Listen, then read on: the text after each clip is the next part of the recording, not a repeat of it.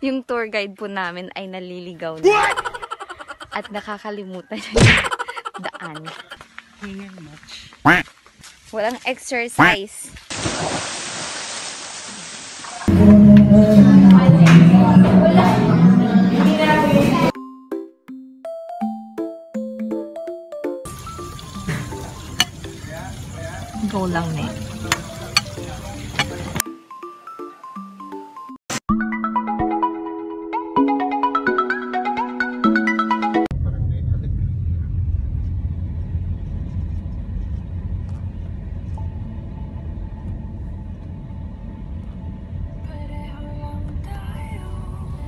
Hi, good day mga ka-trippers! Dahil nga sa sobrang init ng panahon ngayon na pag-isipan namin magtampisaw muna dito sa Beyond Cold Spring ng Barcelona, Sorsogon.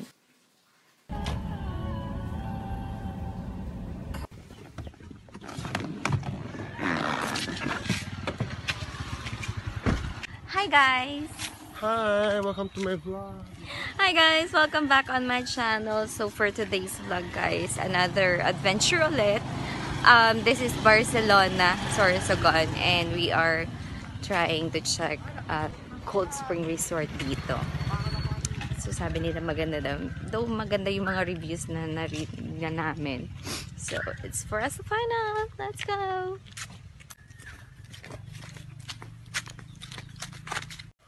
So guys, eto, medyo ah, manyog yung dadaanan mo na bago makakarating dun sa area. Really nature love. Yung tour guide po namin ay naliligaw na. At nakakalimutan na yung daan. Malalaman natin yan sa pagdating sa dulo. Kung tama ba ang tinahak natin o hindi.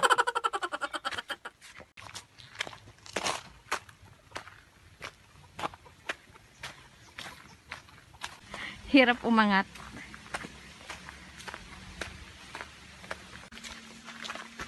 Hingan much. Hingal.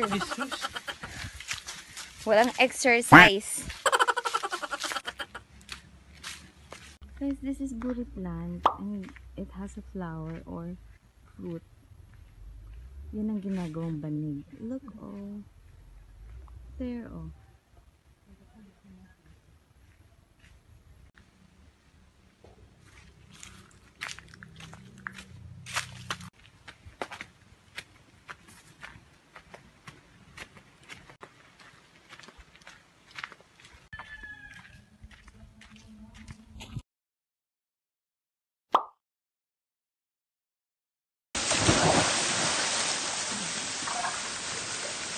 Finally nga, narating na namin ang Beyond's Cold Spring.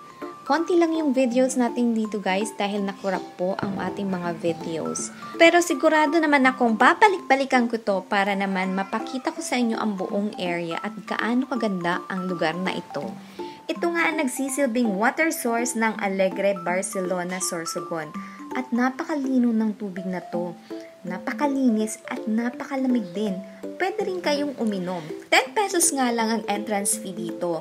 Meron ding mga cottages sa taas kung gusto nyo mag-cottage o kaya gusto nyo naman magkantahan. Meron din silang videoke. Pero kung madali ang tampisawan lamang, hindi nyo na kailangan ng cottage. Pagkatapos nga maligo, namasyal muna kami dito sa seaside, Barcelona Church, at kumain kami dito sa Korea Coffee Shop. Siyempre, hindi pwede kalimutan ang Barcelona Ruins Park na napakaganda sa gabi kahit sa umaga.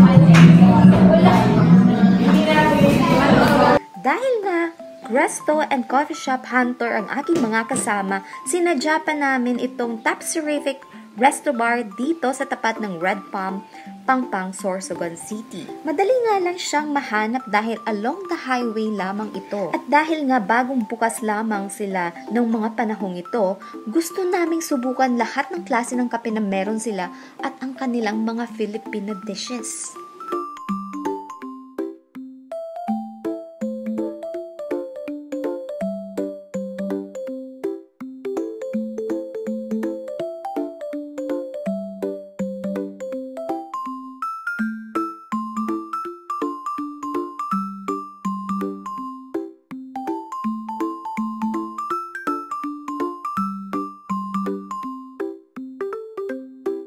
Malawak nga ang kanilang lugar at pwedeng-pwede sa magkakapamilya, magkakaibigan at sa lahat ng gustong mag-relax sa gabi at mag-chill lang. They offer different kind of coffee, different kind of meals at kung gusto niyo naman mag-chill afterwards, they offer different kind of liquors nga kung gusto niyo lang naman magpakalasing.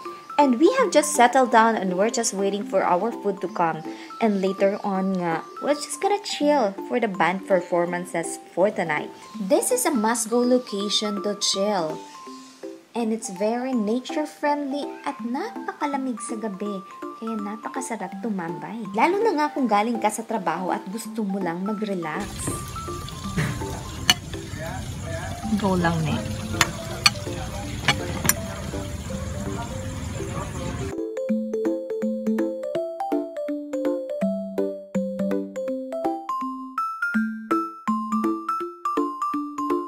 Since the night is young, we stroll again going here in the now famous Sorsogon Coliseum. Ang ganda nga ng Sorsogon Coliseum sa gabi, kahit nasa umaga.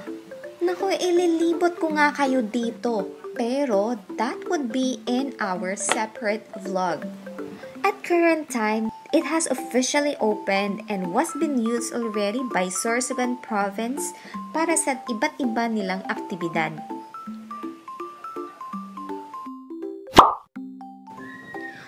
Dahil nga tirador ng mga bagong bukas na resto and coffee shop ang mga kaibigan ko, dinayo rin namin itong kabubukas lamang na Villa Isabel rooftop. So this is a chill top. May iba't iba nga silang businesses sa building na to. Meron silang gym, coffee shop, at eto nga sa taas, pinaka-roof deck niya ay ang bar. At kitang-kita nga dito ang nagliliwanag na Sorsogon City sa gabi.